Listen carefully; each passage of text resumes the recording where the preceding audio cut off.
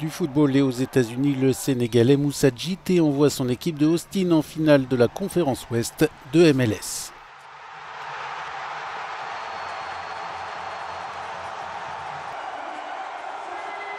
L'ancien joueur de Nier Italie inscrit l'un des deux buts de son équipe contre Dallas dimanche soir.